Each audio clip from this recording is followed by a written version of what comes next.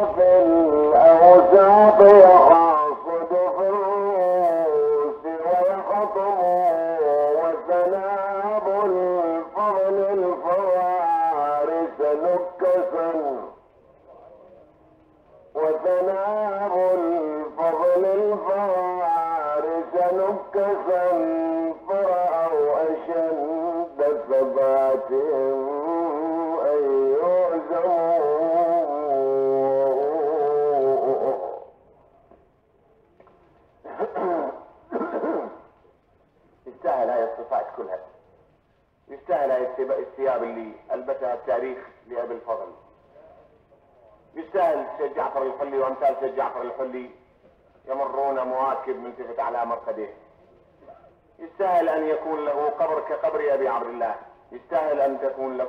له مقاما يكون له مقام كمقام أبي عبد الله.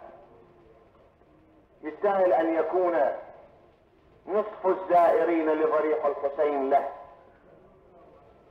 بل كل زائر لا يكتفي بزيارته ولا يجد زيارته زيارته مملحة إلا بزيارة أبي الفضل العباس يجد أن حسينا بأبيه وأمي لا يرضى عنه إلا بزيارة شقيقه. هذا يكفيه يكفيه أنه بطل العلقمي. يكفيه أنه وريث مجد الإسلام. يكفيه أن كل صفات كل صفة لعلي انتقلت إليه بالتالي. من سقاية ومن رعاية ومقامات رعينة هذا يكفيها بالفضل أبا الفضل. فهنيئا لأبي الفضل بهذا المجد الشريف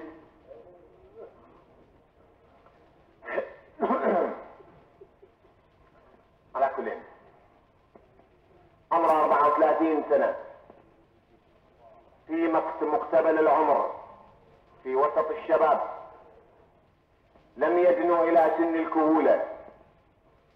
أسمر اللون. بين عينيه آثار السجود. طويل القامة كاره الجسد. يركب الفرس المطهى رجلاه يخطان الأرض. وهذه سمة وقاعدة عند العرب. أي أن الرجل الطويل القامة الذي رجلاه تخطان الأرض خطا رجل يصلح لحمل اللواء والرايات وقيادة الجند. لأنه علم مبرز يلقب بكبش الكتيبة. لأنه كبش كتيبة الحسين أصبح. أنت صاحب لوائي وكبش كتيبتي وزعيم عسكري. فإذا مضيت عني تفرق عسكري.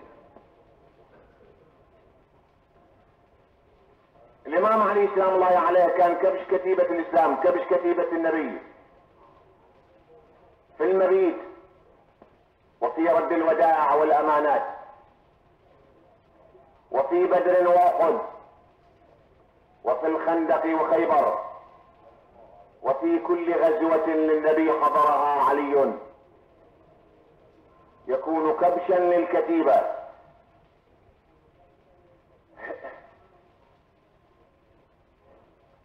مواسيا للحسين. مضحيا له بمهجته بشهادة خير الناس وشرهم.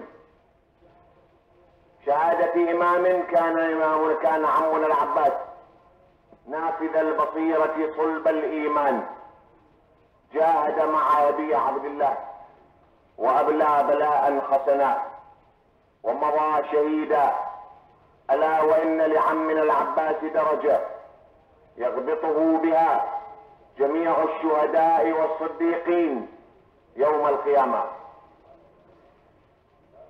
وشهادة شر الناس يزيد بن معاوية عندما عرض عليه لواء أبي الفضل قام له إجلالا وجلس ثلاث مرات.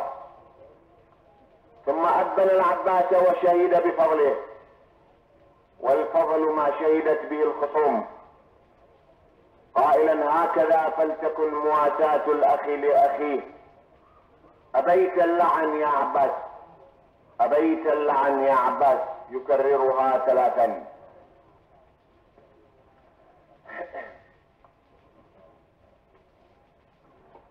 عملاق الطف بطله ساق الظماء وسقاية الظماء جاءته من وراثته لعلي من صفات علي.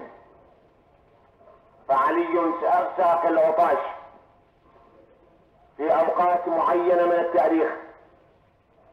ففي بدر يتبرع وتجود نفسه في أن يذهب إلى القليب ويملأ القربة ماء لأن النبي والمسلمين ظما. فيلاقي ما يلاقي من الصعاب في الطريق. ثم لا ينثني سلام الله عليه. ولا تلين له قناة حتى يصر على حمل الماء إلى النبي وإلى الصحابة. فيحمل الماء بالتالي. ولكن خلال هذه النوب الثلاث أو المحاولات الثلاث وفي كل محاولة يأتيه إعصار يلقي القربة ويريق ماءها. فشكى ذلك إلى النبي فأخبره النبي أن الرعيل الأول الفوج الأول هو جبرائيل الثاني ميكائيل الثالث إسرافيل وهم يمرون عليك يهنئونك فناهيك برجل في مهمة واحدة يحوز على ثلاثة آلاف منقبة في سويعة واحدة.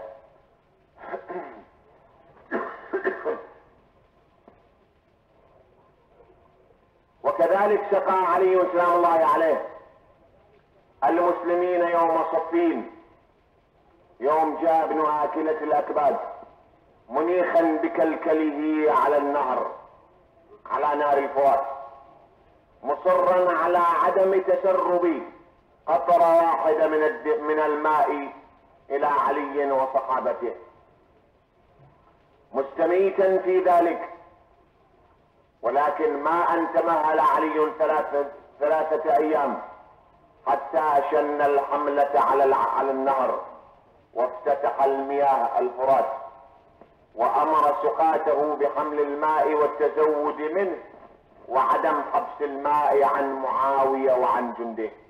فعلي سقى أصحابه من أهل العراق وكذلك أباح السقاية لأعدائه من أهل الشام.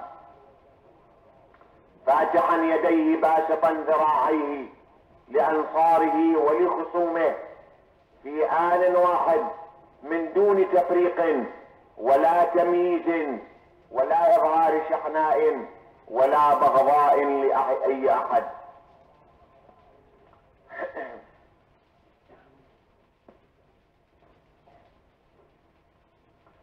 على كلين فقيل لعلي سلام الله عليه. يا أمير المؤمنين ما ضرك لو منعت الماء عن أهل الشام؟ فرفض ذلك علي لأنه لا يقبل شرع الغاب ولأنه لا يرضى بأخلاق الأسود والوحوش الكواسر بل يريد للإسلام أن يجد سبيله للحكم ويريد بأبي وأمي أن يأتلف القلوب ويريد أن يلائم الجروح ويريد أن يجعل جوا للتفاهم وللمبادلات بالنسبة إلى الآراء والمحاججات. أما إذا حبس معاوية الماء عن علي وأصحابه ويرد عليه علي بالمثل ثم يرد عليه معاوية بالمثل ثم يرد علي على معاوية بالمثل تكون الحياة حينئذ جحيم وإلى ما لا نهاية. ملتفت من الدور والتسلسل. فلذلك حسم الداء من أساسه واقتلع الجرثومة من جذورها يوم جعل الفرات مفتوح وصعيد من صعود السلام تلتقي عليه جيوش إن علي جيوش علي وجيوش معاوية. ربما هناك مجال للتفاهم ربما هناك أمل للتلاقي. ولرأب الصدع وحقن الدماء.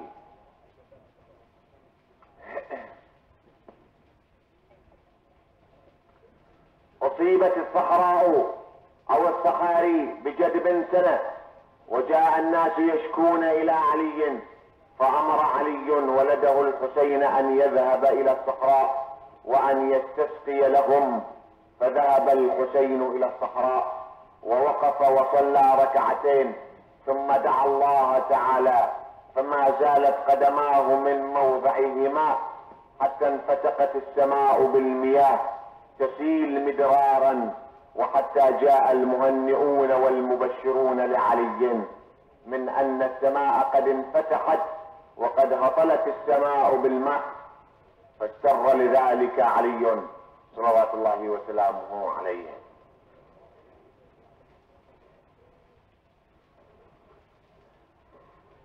أبو الفضل العباس. السلالة منه ولا سلالة لإخوته الثلاث الباقين عبد الله وعثمان وجعفر.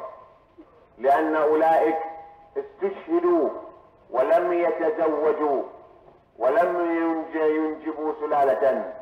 أما أبو الفضل فلم يخلف سوى ولد واحد هو عبيد الله ابن العباس بن علي بن أبي طالب. كفلقة قمر طالع خلفه عند جدته فاطمة بنت أسد الكلابية رضوان الله عليها. المتفانية المتهالكة في محبة الصديقة فاطمة صلوات الله وسلامه عليها والتي ضحت بأبنائها وأشبالها الأربعة.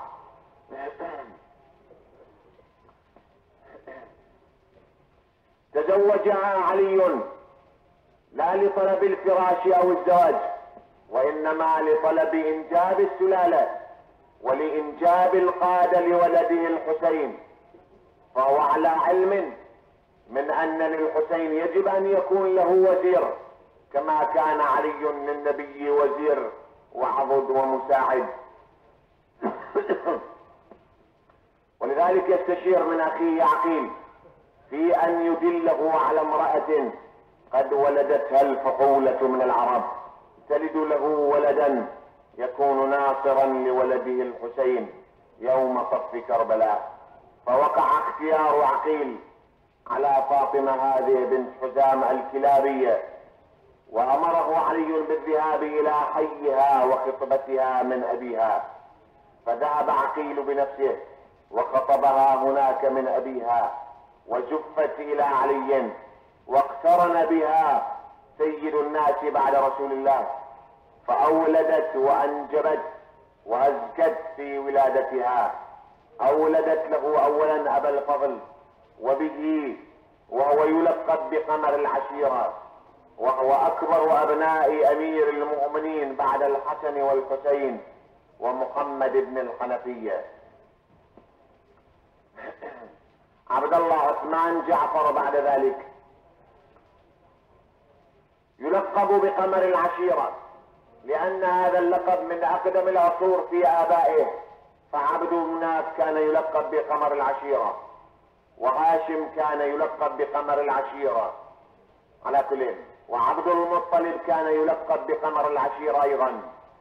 هذه ألقاب للشخص اللامع في الأسرة يلقب بهذا اللقب.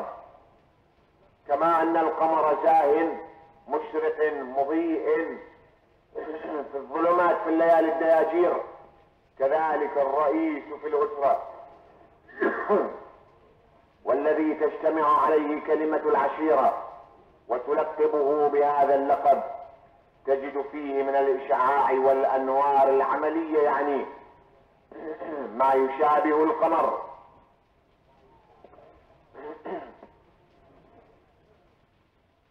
على كل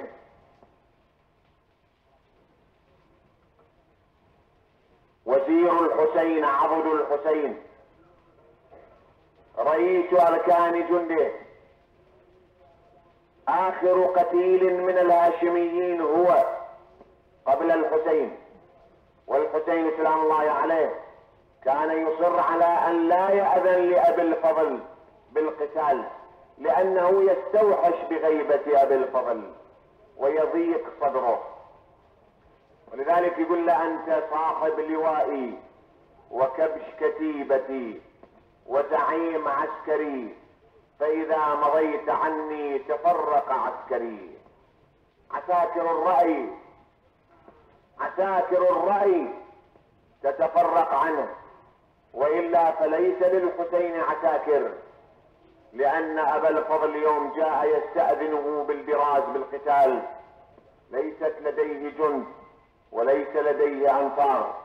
ولكن الحسين يجد في حياة أبي الفضل وبقائه وسلامته وهو يتبختر بين الصفوف عملاقا على ظهر جواده بطلا في حمل رايته.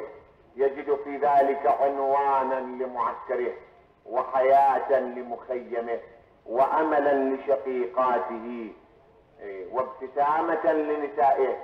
ولكن عندما يذهب أبو الفضل ويقتل وينتكس الراية تنتكس الراية حينئذ يصبح الحسين مكشوف أمام العدو بأبيه وأمه.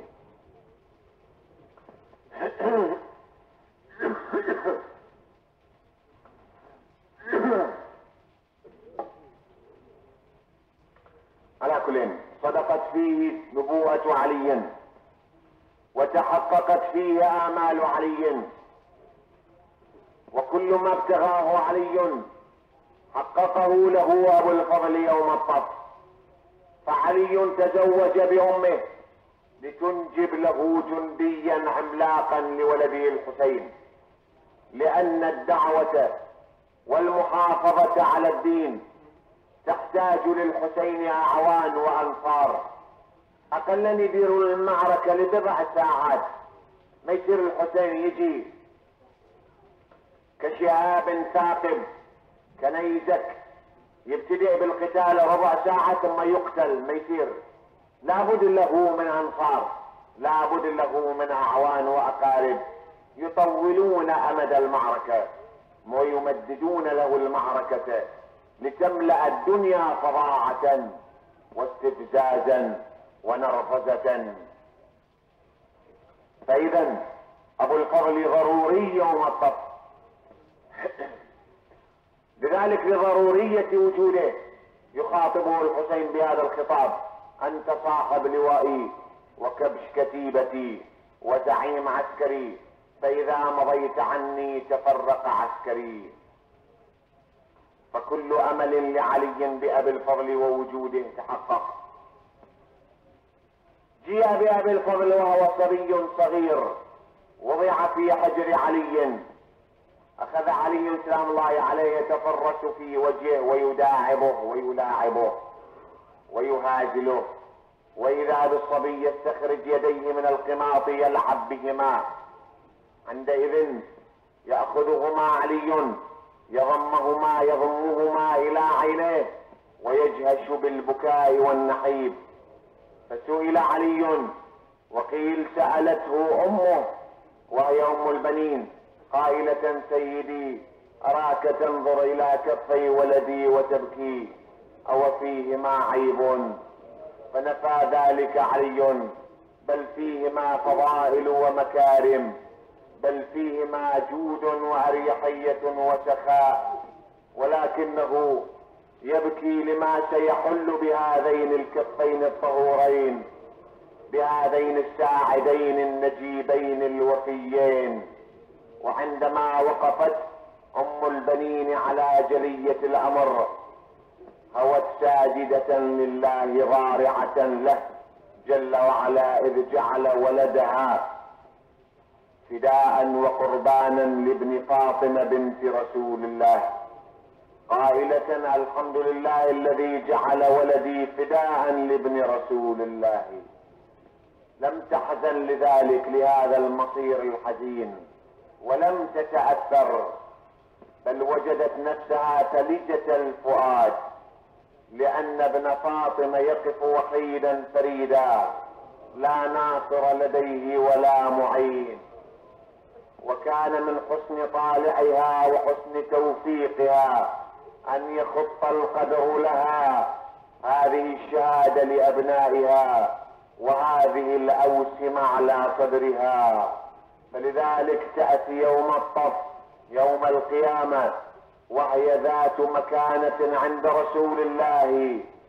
كل قطرة تذرف من عيني فاطمة بنت رسول الله تشاركها الأسى فاطمة بنت حزام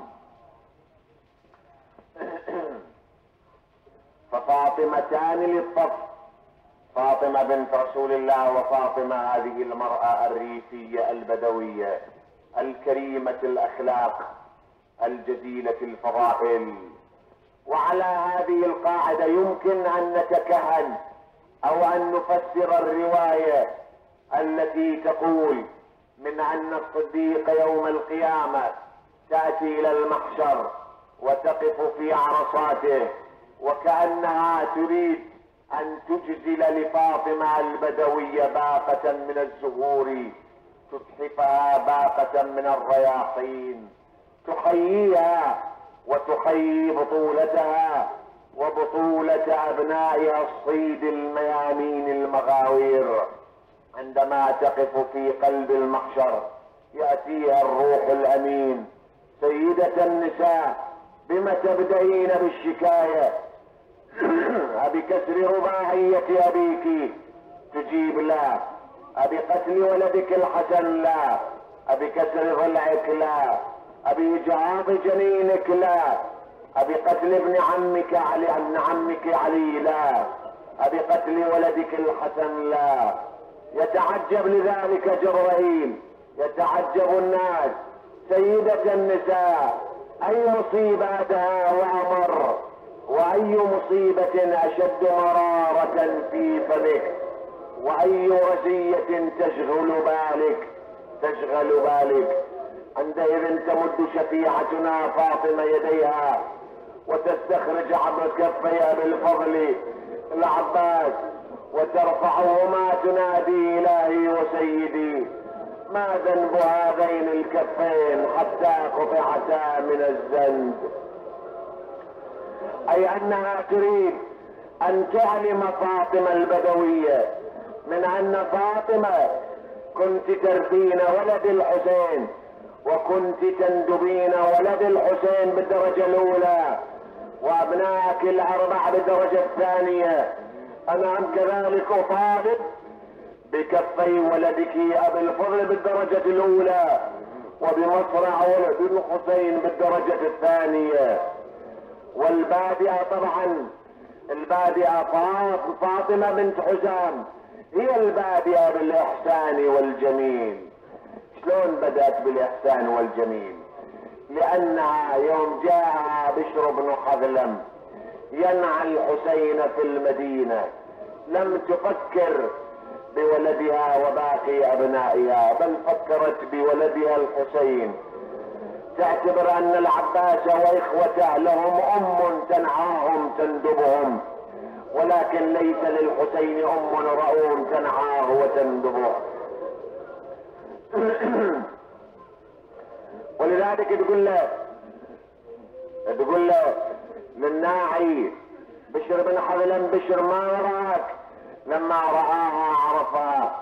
قال أم البنين عظم الله لك الأجر بولدك عبد الله بولدك جعفر بولدك عثمان.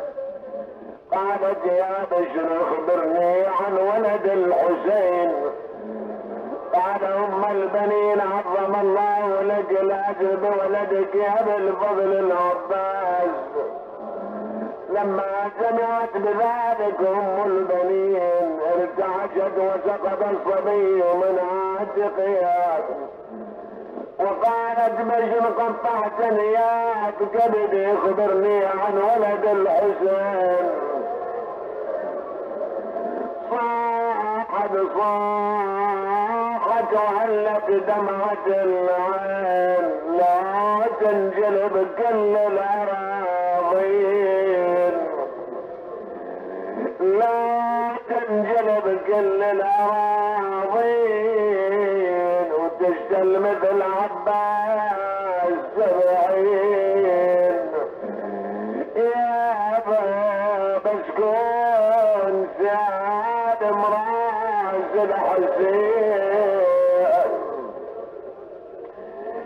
البقيع. امرأة بفطرتها والشعر هم كذلك يفيض من شفتيها من حنانها. تقعد بالبقيع على الفطرة وعلى البساطة ومن دون تكلف ترسل اللحن الحزين تلو اللحن الحزين. تتجمع النساء يتجمع الرجال في البقيع وحواليه. يجي عنوان القسوة مروان بن الحكم يجلس وراء سور البقيع. يستمع إلى ذلك النغم الحزين. يستمع إلى ذلك الصوت الرخيم. إلى ذيك اللبوءة التي تنشد أشبالها. تصور قبورا أربعة بجهات أربعة مربعة وفي وسطها قبر خامس. ثم تجلس وتقول لا تدعوني لا تدعوني ويك أم البنين. لا تدعوني ويك أم البنين. تذكريني باليوت النعيم. أربعة مثل نشور قد واصل الموت بقطع الوتين. ليت شعري كما عنبه بأن عباسا قطيع اليمين ثم تلتفت إلى قبور أبنائها الرمزية تقول أولادي لست أبكي من أجلكم إنما أبكي من أجل ولد الحسين هذه التربية طبعا. وهذه المزرعة وهذا الظرف الذي ملتفت عقدت به نطفة أبي الفضل. وهذا اللبن الذي در في فتى شفتي أبي الفضل. والحنان التي غذى أبا الفضل الذي غذى أبا الفضل. نشأ أبو الفضل بأبي وأمي متهالكا متهافتا متهاويا في محبة أبي عبد الله. يجد نفسه مقصرا. يجد نفسه بأبي وأمي متأخرا. يجد نفسه لم يحز. رضا الحسين سلام الله عليه بكل معنى الكلمة. ولذلك تقطع يمينه وإن قطعتم يميني. إني أحامي أبدا عن ديني. تطفأ عينه يضرب على رأسه يهوي إلى الأرض يمرغ رأسه في التراب والرمال. الحسين يمسح الدم والتراب عنه يأخذه يرمله. ليش؟ لأن لرأس أبي الفضل الآن أبو عبد الله يمسح الدم والتراب عنه. لكن من الذي يمسح الدم والتراب عن رأس أبي عبد الله الحسين؟ هاي المثل العالية؟ هاي القيم السامية؟ هاي التربية الرفيعة؟ يجي إلى العلقمي ينزل إلى الشاطئ قلبه كزبر الحديد. القربة جافة يابسة يدلي القربة في الماء. إلى أن القربة تترطب وإلى أن القربة تشرب بالمياه وإلى أن تمتلئ القربة أبو الفضل بأبي وأمي لا يغتنم الفترة هذه فرصة لنفسه. يغترف من الماء غرفة. يدني الماء من شفتيه يرمي الماء من يديه لأن حسينا ظمآن. ولأن حسينا جاف الماعدة بأبي وأمي لذلك يخاطب نفسه يا نفس من بعد الحسين هوني وبعده لا كنت أو تكوني. هذا حسين وارد المنون وتشربين بارد المعين. يشد وكاء القربة كيف وينصرف بها إلى جهة الحسين. وهناك المقادير تحول بينه وبين بغيته وأمنيته. عمر بن سعد جن جنونه. القادة العسكريين جن جنونهم كذلك. عرفوا القربة إن وصلت إلى شفتي أبي عبد الله لا قدروا عليه بمثلها أبدا. ولذلك صح عمر بن سعد النجدة النجدة الغوث الغوث. هاي القربة لتصل إلى الحسين. انفلق العسكر له سماطين لأبي الفضل. سماط حال بينه وبين الحسين كالجبال الراسية. السماط الثاني أخذ يباشر القتال لأبي الفضل مباشرة. حتى بلكت يجهض هذه القوى. سيف يسقط هذه القربة أما أبو الفضل بابي أمي فتجسدت فيه بطولة علي وشمم علي. حنوا من الجود وركبوا ميمونة حلوا ركب حنوا من الجود وركبوا ميمونة يخشونهم لا الحتف يصلون. حال القدر دون حال القدر دون الخيام ودون تداني العدو تدن طفحت لك جروح بالتار نحمي من عود الفحل شنيار. قطع يمين وسب ويسار والجود من نسامهم صابن. ما يسوق في العمر من ساسه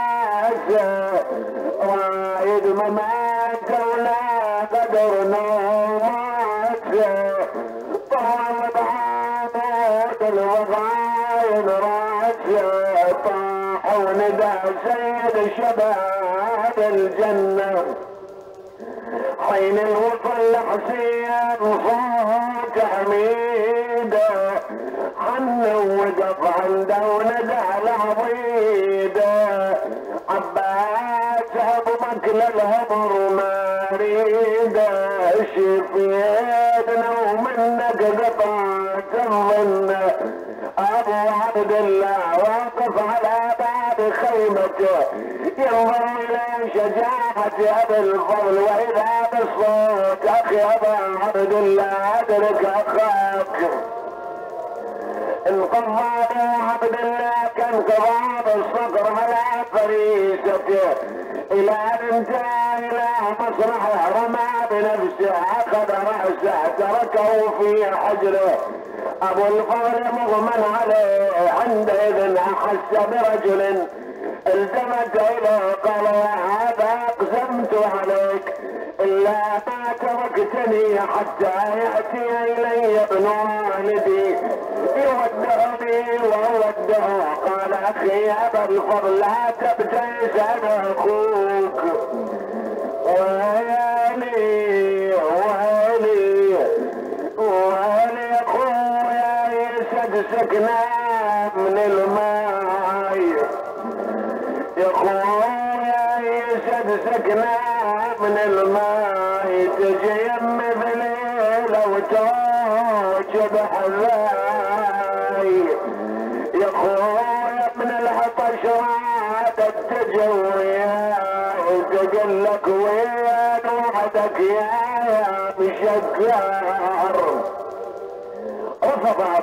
في أن يحمل إلى المخيم كعادة المجروحين والقتلى.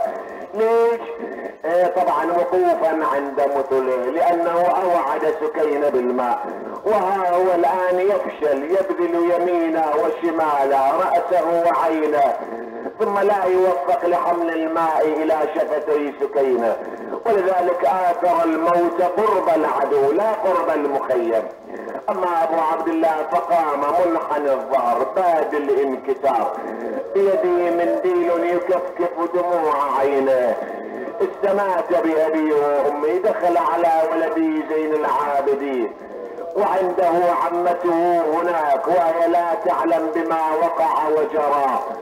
إيه جلس زين جلس الحسين. التفت علي إلى عمته عمة نديني إلى صدرك. هذا ابن رسول الله قد أقبل. سندته زينب. أبتي كيف حالك؟ حمد الله وأثنى عليه. قال أبتي ماذا فعلت مع القوم؟ قال بني استحوذ عليهم الشيطان.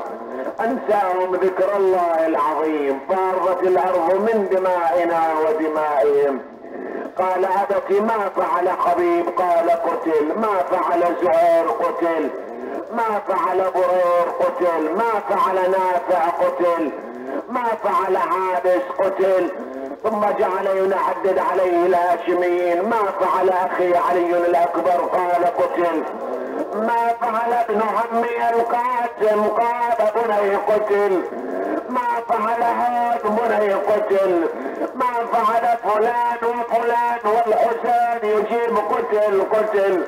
ابا وزينب تنظر إلى وجه علي مرة.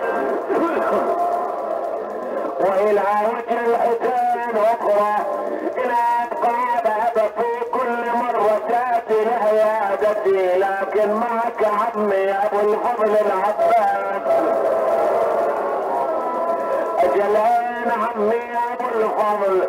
لما سمع الحسين بذلك صاحبنا يا علي عظم الله لك الأجر بعمك فلقد خلفت على نار العلقم مقطوع اليدين مرغوب الجبين. الزعم نابت في العين المخ سائل على الكتفين زينب قامت إلى هنا أرسلت عليا على فراشه وضع يدها على افوادها التفت إليها الحسين قال اختها إلى اين أنت ذاهب قالت أمضي إلى خيمتي أبكي بيني وبين ربي لأنك أمرتني أن لا أبكي بحضرتك. له يا عباس عباس حس حسين يمك يا عباس حس حسين يمك يبكي وخرق دمعات دمك. يا حاير يا أبو فاضل بلمك لمن اللي واعطي ومن